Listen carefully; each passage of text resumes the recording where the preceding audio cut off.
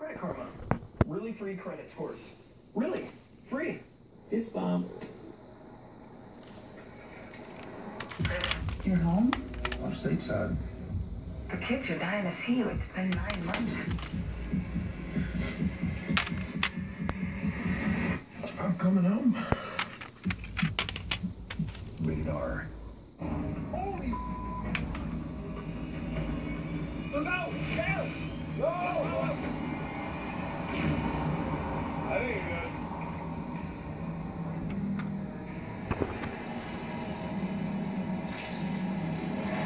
That could be a problem. We need to get off, get out now. All we're getting is good. The large drill rig the Laginas are trying to use at the money pit is now sinking into the Oak Island mud. Centuries of digging and drilling have made the ground soft and unstable.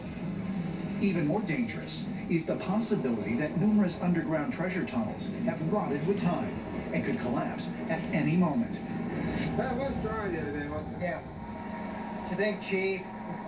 Correct. For a while. Yeah. One of the problems with this whole venture is we were drilling probably in fill, either from a shaft that was filled or from Mr. Dunfield's excavation, or from a shaft that collapsed, maybe was leaning over. What we're gonna do is we're gonna dry the rigger head a little bit, Mm-hmm. lay down mats. That way, if it did ever go down, the wheels are gonna come down on top of mats. Okay, yeah, that sounds good to me. There's 220 years of digging, drilling, blasting, boring, and given all the disturbances in that area, that ground was still soft. We do have safety concerns here, and the biggest one is, was a cavity formed at some point in time and could that cave in? If it is the original vault that we're caving in, that would not be good news, because we're hoping to get down to it, but this is a money pit area, and never know when something might go wrong. After some fast teamwork, Rick and Craig managed to pack the hole with rocks, adding stability to the ground beneath Jordan's rig. I'm never afraid to get my hands dirty. Craig and I were tossing boulders in the hole. I mean, I'll do anything. Look, we're here to solve this, and you know, if I had to carry bricks on my back for 50 miles every day, I'd do it. I'm gonna do whatever it takes because I'm in the fight, and we're here to win. Seems to be pretty stable there. Okay, so let's get steel in the hole. There we go. Let's cross fingers and hope this goes down well. Once again, Oak Island has been successful at keeping its most precious secret hidden. But will the Laginas and their partners, like all the previous dreamers and treasure seekers who came to Oak Island, ultimately leave beaten and empty-handed?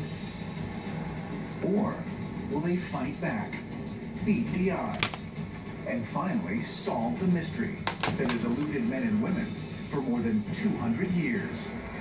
The island tends to take a toll. It teaches you a lesson. You can't constantly think that every morning you're going to wake up and you're going to find the answers. It's not just a one-day trip. This pursuit is long-term. There's a reason it's called the money pit. It has sucked a lot of money out of a lot of people over the years. But we're on a quest. We're doing something that we love, and we're not giving up. Next time on The Curse of Oak Island. Sorry, I'm not willing to give up. You don't think we can put an axe through swamp? No. Why not? This is looking very expensive and not too much reward. This was found in the bottom of a swamp. What the hell is that? The big tree stuff. What's that doing out in the middle of nowhere? And it's grown underwater, and the swamp came after the tree. It's man-made. It's the money pit. I want to see what's down there. That's the top of the wall. Looks like we might have been right. Holy! Wow, guys. Do you think you're on the ball? Tonight on The Curse of Oak Island. Right, I'm not willing to give up. You don't think we can put an axe through swamp? No. Why not? This is looking very expensive and not too much reward. This is found in the bottom of the swamp. What the hell is that? The big tree stuff. What's that doing out in the middle of nowhere? And it's grown underwater, in the swamp after the tree. It's man-made. It's the money pit. I want to see what's down there. That's the top of the wall. Looks like we might have been right. Holy! Wow, guys. Do you think you're on the ball? There Here's an island in the North Atlantic where men have been looking for treasure for more than 200 years. They have uncovered booby-trapped flood tunnels, carved stones with strange symbols, even 17th century Spanish coins. Six men have even lost their lives. And, according to legend, one more will have to die before the treasure can be found.